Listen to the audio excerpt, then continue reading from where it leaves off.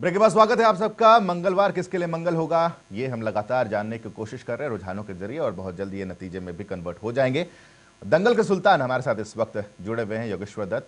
दादा बहुत बहुत स्वागत है आपका जनता टीवी पर। साकिब सुमन बात कर रहा हूँ अगर आप तक आवाज़ पहुँच रही हो मेरी तो ये जानना चाह रहा हूँ कि अभी जो रुझान है वो बीजेपी के पक्ष में नहीं है। आपका पहला रिएक्शन क्या दादा? नहीं है रुझान। और अभी बारह सीट पे आगे चल रहे हैं हम। जी। उम्मीद है कुछ और बढ़ोतरी होगी इसमें पर ये है कि इतने अच्छे तरीके से बहुत लड़ाई लड़ी थी भारतीय जनता पार्टी के कार्यकर्ताओं ने काफ़ी लोग तक पहुँचे भी। हमारे लिए एक अच्छी बात यह है कि इस बार वोट प्रतिशत जो भारतीय जनता पार्टी का बढ़ा है लगभग चालीस के पार गया है। जी। ये हमारे लिए अच्छी बात है और वैसे शायद सरकार से काफ़ी पीछे हैं। दादा आप भी चुनाव प्रचार के लिए आए थे। आ, कैसा लग रहा था? लोगों का रिस्पांस कैसा था? बहुत अच्छा रिस्पांस था लोगों का पर एक जो मेन चीज़ थी ना जो फ्री वाला जो चलाया हुआ है कि भाई फ्री बिजली फ्री पानी जी। लोगों को उसकी तरफ़ भ्रमित किया गया है जो मतलब कि भाई फ्री देंगे। हम्म, एक लोग उसकी उसकी वजह से भारतीय जनता पार्टी पीछे गई है क्योंकि जहाँ फ्री की बात आती है तो काफ़ी कुछ हर मुद्दा पीछे रह जाता है। हम्म, और लोग इतने समझदार नहीं बन पाते कि भाई ये फ्री हमारे लिए अच्छा है या बुरा है? जी। क्योंकि अगर किसी भी इंसान को आप कोई भी हो उसमें आप है मैं है सभी हैं अगर घर बैठे में सब कुछ मिलेगा तो हम घर से नहीं निकलेंगे। निठल्लो वाला काम होगा। अगर किसी को बिजली फ्री पानी फ्री उसको हम कम कर सकते हैं रेट कम कर सकते हैं उसके उनको वह और सुविधाएँ दे सकते हैं। राशन फ्री इस चीज़ में फिर इंसान मेहनत नहीं कर सकता। और ये हिंदुस्तान के लिए अच्छी बात नहीं है मैं पहले से भी कहता हूँ और उसी की हम फेवर में भी नहीं है फ्री की चीज़ें देने के। और शिक्षा में अच्छी बड़ो अच्छी सुविधा कीजिए, खेल में कीजिए, और बहुत से हैं जहाँ पे हम अच्छा कर सकते हैं। फिर जहाँ पे फ्री की बात आती है तो वहाँ पे इंसान भविष्य के लिए सुरक्षित नहीं है। और ये आने वाले टाइम में आप खुद देखोगे, हिंदुस्तान के लिए, दिल्ली के लिए जो फ्री वाला सिस्टम जहाँ भी चलेगा, वो बिल्कुल भी अच्छा नहीं दादा क्या आपको लगता है कि बीजेपी की जो स्ट्रैटेजी रही, वो स्ट्रैटेजी नेशनल लेवल के मुद्दों पर ज़्यादा रह गई, दिल्ली के मुद्दे पर कम आ पाए आप लोग? शायद इस वजह से दिल्ली की जनता ने नकारा है। देखिए दिल्ली का दिल्ली का मुद्दा क्या था? दिल्ली का बस एक ही चीज़ थी बिजली फ्री पानी फ्री। उससे अलग क्या मुद्दा था? आप मोहल्ला क्लिनिक देखिए। दिल्ली में आप खुद जाके देखिए कितने क्लिनिक अच्छे हैं मोहल्ला क्लिनिक कितने खराब हैं। हम्म, तो किसी में कुत्ते बैठे मिलेंगे किसी में गधे बैठे मिलेंगे किसी में कचरा मिलेगा आपको। दिल्ली में कुछ स्कूल हैं जो उन्होंने अच्छे बने दिखाने के लिए उन्हें अच्छे तरीके से प्रचार किया आम आदमी पार्टी ने। और उनका एक वो कौन सा वो अतामुल्ला खान क्या नाम था तो खुद बोलता था कि भाई बारह परसेंट मुसलमान हैं दिल्ली में सारी वोट आम आदमी पार्टी को जानी चाहिए। जी। वो ये ऐसी ऐसी चीज़ें जो लोगों को एक बीजेपी की पे तो लक्षण लगाया कि बीजेपी इस तरीके का इलेक्शन लड़ती है और वो लड़ा तो आम आदमी पार्टी ना वो इलेक्शन। हम्म। दादा एक चीज़ और क्या आपको लगता है कि शाहीन बाग का जो इशू रहा वो बीजेपी के लिए बैकफायर कर गया? बीजेपी को शायद लगा था कि शाहीन बाग के इशू से फ़ायदा होगा जो हिंदू वोटर्स हैं वो आएँगे? देखिए आप बताइए शाहीन बाग में वो किसने बैठाए थे? भारतीय जनता पार्टी तो नहीं बैठाए वो। हम्म, ना उनके पक्ष में खड़ी थी भारतीय जनता पार्टी। उनके पक्ष में मनीष सिसोदिया खड़े थे बोला कि मैं शाहीन शाहीन बाग वाले के साथ में हूँ। हम्म, उनके बीजेपी के तकरीबन नेता उनके साथ गए हैं। से देश तोड़ने की बातें होती है, ये उनके मतलब सपोर्ट करते हैं। और भारतीय जनता पार्टी का सपोर्ट शुरू का कि सबसे पहले देश है, देश हित बातें हैं। उससे अलग चीज़ें नहीं है कि हमारे लिए सबसे पहले देश है, उसके लिए कठिन फैसले लिए भी हैं और लेने पड़ेंगे। अब ये कानून जो बनाया था, नागरिकता संशोधन जो अधिनियम ये बना ये ये किसके लिए है? ये जो पाकिस्तान, बांग्लादेश, अफ़गानिस्तान से आए हुए अल्पसंख्यक है उनके लिए बना था ये। जी। उस पे इन्होंने बात पे तुल दिया कि भाई ये तो देश को खत्म कर देगा नागरिकता कागज़ नहीं दिखाएँगे। कागज़ देख किस रहा है हिंदुस्तान? हम्म, ये तो विदेशी है जो अपने तीन देशों के जो अल्पसंख्यक है उसमें हिंदू भी हैं सिख भी हैं क्रिश्चियन भी हैं। ये जो छह धर्म है जैन है बौद्ध है पारसी है उनके लिए भाई उनको नागरिकता हम देंगे। और ये इन्होंने एक ऐसा हुआ बना दिया हिंदुस्तान में। इनको मौका तीन सौ सत्तर पे मौका नहीं मिला देश में आग लगाने का। राम मंदिर पे मौका नहीं मिला इनको यहाँ पे मौका मिल गया। तो इन्होंने देश में हिंदू दिल्ली में आग लगाई, पूरे देश में इन्होंने एक चाल है कि भाई ऐसे अब सर्दी इमाम है, जिसको कोई इंसान नहीं जानता था, देश की बात करता उसको पूरा देश जानता है। कन्हैया कुमार जिसको कोई नहीं जानता था, आज उसको सभी जानते हैं, उमर खालिद है। इनका, इन्होंने किया क्या है? बस देश के विरुद्ध इन्होंने बयानबाजी की है और आम आदमी पार्टी हो या कांग्रेस हो या कोई भी उन्होंने शिरा को बैठा इन तीनों, चारों इंसानों को और पूरा देश जानता है इनको। इनका मकसद ही एक है कि देश तोड़ने की बात करो और अपना पूरे देश में अपनी एक छवि बनाओ। कि भाई हम ऐसे हैं वो ऐसे हैं और आम आदमी पार्टी उसको ये कांग्रेस आम आदमी पार्टी उसको उठाने का काम करती है ऊपर। जी। नहीं तो देश हित के लिए कौन सी बात की है इन्होंने? उसमें कांग्रेस हो आम आदमी पार्टी हो और बीजेपी ने वो चीज़ें दिखाई हैं। तीनों सत्तर तोड़ी जे एंड के से देश हित के लिए थी। देश एक अभिन्न अंग बना है जे एंड के को हिंदुस्तान का। तीनों सत्तर जो आज तक ये सॉरी राम मंदिर मुद्दा जो आज तक एक वोटों के लिए कांग्रेस पार्टी खेलती आई है। तो भारतीय जनता पार्टी ने कुछ की एक रास्ता बनाया है राम मंदिर बनाने का। हम्म।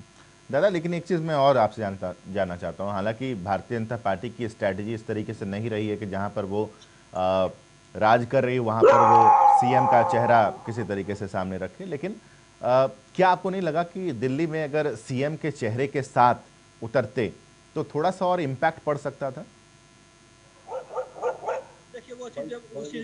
मानता क्योंकि पिछली बार सीएम के चेहरे के साथ थे, किरण बेदी जी थी अरविंद केजरीवाल से तो हर तरीके से बेटर थे वो, और बेटर है वो।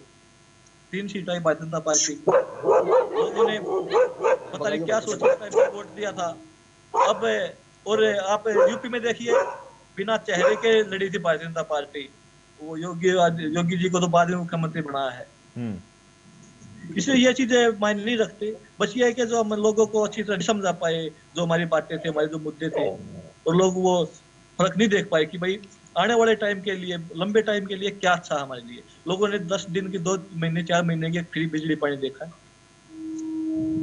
आपको नहीं लगता दादा कि लोगों तक आपको जिस तरीके से पहुँचना चाहिए था, जिस तरीके से लोगों तक बात पहुंचानी चाहिए थी भारतीय जनता पार्टी को, उसमें थोड़ा सा आप लोग फेल हो गए, नाकाम हो गए वहाँ पे?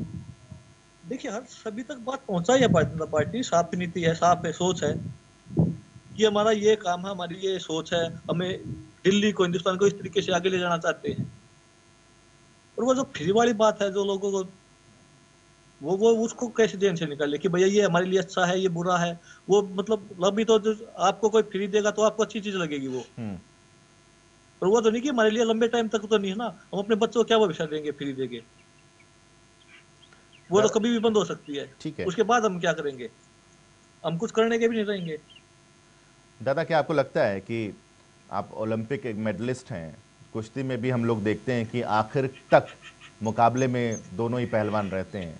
क्या यहाँ पर आखिरी का जो मूव था वो आम आदमी पार्टी ने ये जो फ्री वाला दांव चला इसमें भारतीय जनता पार्टी कोई जवाब नहीं था भारतीय जनता पार्टी के पास इस दांव का। देखिए अब अब मैं बताता हूँ। मैं पहलवान ही था तो मेरे को बोल देगा तेरे को ओलंपिक मेडल दे देंगे फ्री में ऐसे ही। मैं क्यों मेहनत करूँगा? जी। मैं नहीं करूँगा मैं तभी करूँगा तो मेरे को चाहिएगी। हम्म। मेरे को मेडल से मैंने मेहनत की।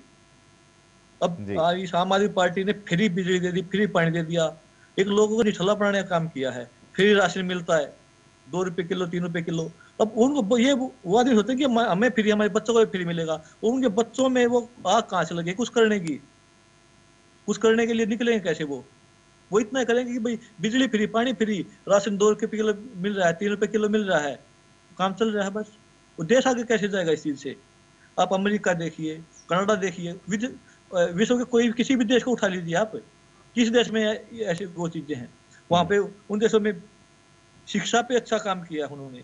खेल में अच्छा काम किया है, रोज़गार में अच्छा काम किया। आम आदमी पार्टी का वहाँ पे क्या रुख है दिल्ली में उस की तरफ़? शिक्षा के लिए दस स्कूल बना दिए, वो बैनर लगवा दिए कि भाई हमने शिक्षा, ऐसे स्कूल बना दिए। अब चार लाख का कमरा बनता वहाँ पे चौबीस लाख का ही कमरा दिखा इसने, आम आदमी पार्टी ने। चौबीस लाख में तो क्या था क्या बन जाता उन्होंने कमरे की कीमत लगाई है चौबीस लाख रुपए। वो चीज़ पर लोग नहीं देखते। लोग तो ये देखते हैं कि मेरे को इतना मिल रहा है, कोई कितना ही खाता रहे, कितना भ्रष्टाचार करता रहे, मेरे को दिए चाहिए बस। अभी आरोप भी लगे हैं बात इस पे, आम आदमी पार्टी पे, कि भाई टिकट, पैसे लेके दी गई है। पर लोगों ने वो चीज़ देखी नहीं। कोई बात नहीं, हमें फ्री मिलता है। इतना भ्रष्टाचार करने दो उसको। पूर्ण क्यों नहीं क्या मतलब है? अगर जब लोग ये चीज़ें समझने लग जाएँगे तो समस्या अपने आप दूर हो जाएँगे सारी। लेकिन लेकिन दादा, एक चीज़ और बहुत सारे लोग आपसे सवाल भी करना चाहते हैं, लेकिन मैं अपने सवाल पहले ख़त्म कर लूँ। मेरा सवाल ये है कि सरकारी स्कूलों का ज़िक्र आपने किया, दादा। लेकिन ये कहा जाता है और कई बार इस तरह की तस्वीरें भी आई सामने कि वाकई दिल्ली की जो सरकारी स्कूलें हैं उनका एक कायाकल्प किया मनीष सिसोदिया ने आम आदमी पार्टी की सरकार ने। इसके साथ साथ हमने ये भी देखा कि सरकारी स्कूलों के जो रिजल्ट्स आए वो प्राइवेट स्कूल से बेहतर आने लगे।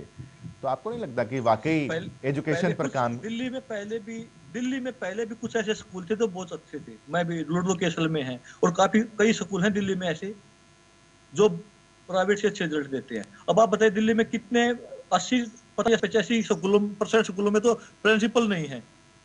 टीचर पूरे नहीं है। उस पर ध्यान दिया, उसके लिए बताया इन्होंने, आम आदमी पार्टी ने, कि भाई इतने स्कूलों में प्रिंसिपल नहीं है। इतने ये नहीं है। और ऐसे स्कूलों में, चलो दिल्ली में मैं आपको लेके चलता हूँ, आम आदमी पार्टी किसी को लेके चलता हूँ, कि कुछ स्कूल ऐसे भी है जिनकी बहुत खस्ता हालत है। वो मौलाना क्लिनिक की बात करते हैं, चलो मैं लेकर चलता हूँ जो अच्छे नहीं है। वो दस पंद्रह बीस स्कूल बना दिए अच्छे, उनमें दिखा दिए, सब कुछ, मीडिया वाले लेकर पहुँचा दी मोला क्लिनिक में ऐसी जगह पहुँचा दिए, उसका क्या मानना है? सबको देखो ना उस चीज़ में, तभी तो हम कह सकते हैं परसेंटेज क्या निकलती है। अगर आप दिल्ली में अच्छे स्कूलों की परसेंटेज निकालोगे तो क्या निकालोगे आप? किसी स्कूल में दो कमरे अच्छे बनाए, बोले कि ये स्कूल भी हमने अच्छा कर दिया, ये ऐसे ठीक तो होता है। और फिर आप चलो स्कूल बना दिए, उसके बाद जो प्रिंसिपल की बात आती है कि भाई, इतने स्कूल में तो प्रिंसिपल ही नहीं है। उनका जवाब कौन देगा? दादा आपको आप ठीक है आप मोहल्ला क्लिनिक की बात कर रहे हैं आप स्कूलों की बात कर रहे हैं आप दिल्ली की बात कर रहे हैं लेकिन ये ज़िम्मेदारी तो आप ही लोगों की थी कि आप लोग दिल्ली के मतदाताओं तक इन तमाम हकीकतों को पहुँचा पाते। उसके बाद नतीजा हो सकता था कुछ और। भाई साहब पहुँचाया ना तो वो जो मैंने बोल दिया आपको पहुँचाया ना अब किसी को फ्री बिजली फ्री पानी मिलता है तो वो उन चीज़ों को नहीं देखेगा। उसको देखेगा कि मेरे को मेरा मेरा एक पैसा नहीं लगता घर से मेरे को फ्री बिजली मिलती है फ्री पानी मिलता है। स्कूल होता रहे खराब किसी को चाहिए नहीं। तो आपको लगता है ये वो तो फ्री का कार्ड आम आदमी पार्टी ने खेला इस कार्ड ने भारतीय जनता पार्टी का गेम खराब कर दिया। इसमें भारतीय जनता पार्टी का गेम नहीं इसमें आने वाले टाइम में पूरी दिल्ली का गेम खराब होगा। लोग निठल्ले होंगे लोग कुछ करेंगे नहीं। काम करने के लिए लोग घर से निकलेंगे। लोग काम नहीं करेंगे। बिजली दो अच्छी बात है। कम रेट कम कर दो उनके। हम्म। पानी तो पानी रेट कम कर दीजिए। लोग तो कुछ करने के लिए निकलेगा ही क्यों? अगर आपकी बिना घर बैठे आपको सब कुछ मिलता तो आप काम के लिए क्यों निकलोगे? मैं काम के लिए क्यों निकलूँ? मेरे को पता है कि मेरे को फ्री मिलता है। मेरे बच्चों को भी ऐसे फ्री मिलेगा। हम उनको बताएँगे क्या कि भाई तेरे को कमाना है तेरे को खाने के लिए तेरे को कुछ कमाना पड़ेगा आगे निकलना पड़ेगा तेरे को तेरा पेट भरने के लिए तो कुछ करना पड़ेगा। बच्चा बोलेगा बिजली फ्री खाना कमाना क्या है? सब कुछ मेरे घर बैठे मिल तो रहा है। हम्म। देश की कहाँ सोची उन्होंने दिल्ली की कहाँ सोची अब इस देश के भविष्य तो बच्चे उनकी कहाँ सोची उन्होंने आम आदमी पार्टी ने। फ्री दे उसमें कोई भी फ्री के फेवर में हम पहले भी नहीं थे आज भी नहीं है आगे भी नहीं रहेंगे मेरी राय है कि फ्री वाला फ्री जहाँ मिल जाता है तो वहाँ पे तरक्की रुकती है। और ये पूरी दिल्ली में जो चीज़ें हैं आप कॉलोनी में जाइए कहीं भी लेकिन- जाइए उनके बच्चे एजुकेशन एजुकेशन की बात करते हैं कि- तो आप दिल्ली की कॉलोनी में घुस जाइए। जी जिस तरीके से आप कह रहे हैं कि आप फ्री के फेवर में नहीं है लेकिन बीजेपी के मैनिफेस्टो में ये नज़र नहीं आया। क्या? बीजेपी के मैनिफेस्टो में ये नज़र नहीं आया क्योंकि उन्होंने कहा था कि जो ये फ्री की सेवाएँ आम आदमी पार्टी दे रही है इसको भारतीय जनता पार्टी हटाने नहीं वाली है इसको कंटिन्यू रखेगी। इसके अलावा भी बहुत सारी फ्री घोषणाएँ मैनिफेस्टो में देखने को मिली थी। भारतीय जनता पार्टी भारतीय जनता पार्टी ने ये चीज़ें बोली थी कि भाई हम ये बोली थी कि भाई, हटानी ये नहीं, बोली कि हम ये फ्री देंगे, ये देंगे। बात है तो कि फ्री वाला सिस्टम है। ये नहीं हो सकता। ये हिंदुस्तान में मतलब हिंदुस्तान कहीं भी, किसी भी देश में कहीं भी आप भी नहीं चला सकती। आप कब तक, और अगर दोगे तो आप किसका पैसा लोगे? वो पब्लिक का ही पैसा है। आम आदमी उसमें जो है, वो मरता उसमें, वो पिसता उसमें। उसमें आप भी पिसोगे, हम भी पिसेंगे। योगेश्वर कोई हम उसके फेवर में है ही नहीं फिर बड़े में। योगेश्वर दत्त जी नमस्कार। मैं चरणजीत सिंह हूँ सीनियर जर्नलिस्ट और पॉलिटिकल एनालिसिस सबसे पहले मैं आपका सम्मान करता हूँ आपने देश को मेडल जिताए हैं और मैं इतना जानता हूँ कि जो पहलवान होते हैं वो सीधी सच्ची बात करते हैं वो लाग लपेट औरों की तरह नहीं करते। मैं गलत तो नहीं कह रहा हूँ? जी औरों का तो पता नहीं, मैं तो अपने बता सकता हूँ। हाँ नहीं, आपका आपका भी औरों भी हो, मैं क्योंकि पहलवानों को जानता हूँ, सभी लोग ज़्यादातर जो है वो सीधी सच्ची बात करते हैं। तो योगेश्वर दत्त जी, आपने फ्री की बात करी, जैसे आप कह रहे हैं, आम लोगों को सभी को फ्री कुछ नहीं मिल रहा है 200 यूनिट तक बिजली फ्री है। तो और जो लोग हैं ना, सबको पैसे देने पड़ते हैं दिल्ली में, हर चीज़ का पैसा देना पड़ता है, हर चीज़ का टैक्स देना पड़ता है।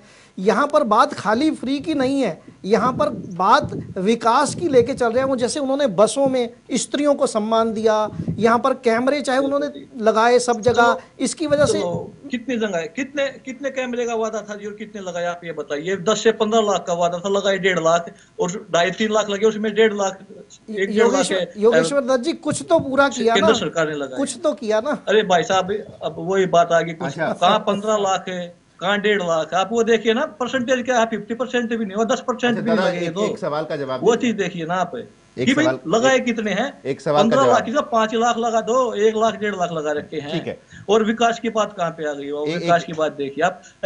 दो सौ यूनिट बिजली है फ्री दे दी। हम्म, वो कुछ लोग तो 200 से अंदर रखते हैं। अगर आपकी 200 से ऊपर आ गई तो फिर आप कितना दोगे? पूरा दोगे आप। हम्म। चलिए एक एक लास्ट सवाल वो चीज़ें देखिए ना, उसमें दादा एक, सभी एक, के दादा लिए एक आखिरी सवाल आपसे यहाँ पे पूछ रहा हूँ मैं। कि क्या इस परिणाम ने एक सिलेबस भारतीय जनता पार्टी के लिए फिर से तैयार कर दिया ताकि आप अगले पाँच साल तक उस सिलेबस को स्टडी करें और उसके बाद फिर से चुनाव में आए? क्या इस बार भारतीय जनता पार्टी वाकई उस सिलेबस को रीड कर पाएगी ठीक ढंग से तैयारी कर पाएगी? देखिए ये जो मैं आगे पाँच साल हैं पर अगर आप मोदी जी का चेहरा देखोगे तो आज भी वहीं पे है। उनकी लोकप्रियता में बढ़ोतरी हुई है। कुछ दिल्ली में वोट शेयर देखोगे तो बत्तीस तैतीस से वो आज चालीस परसेंट पे गया है। हाँ वो भी बिल्कुल सही है कि उतनी सीटें में नहीं मिली जितनी हम एक्सेप्ट करते थे। पर आज आप अगर आप प्रधानमंत्री के लिए मोदी जी का आप सर्वे करोगे तो आज फिर भी एक तरफा एक सबसे बहुत ज़्यादा मतों से पीछे सर्वे हुआ भी था वो आगे मिलेंगे। जहाँ पे देश की बात आती है पर जहाँ पे ऐसी चीज़ें आएगी और मेरा तो मानना है कि सरकार कोई कुछ नहीं बोल सकती कोई कोई पार्टी ऐसे इसमें नहीं बोल सकती। इसमें सुप्रीम कोर्ट को ये वो आगे आगे बढ़ना पड़ेगा कि भाई बिजली ये फ्री का समय प्रलोभन लोगों को देना बंद करो। उनको और सुविधाएँ दो जिससे देश का अच्छा विकास हो। हम्म। चलिए योगेश्वर बहुत बहुत शुक्रिया आपका। आप हमने वक्त निकाला हमारे साथ जुड़े बहुत बहुत शुक्रिया आपका।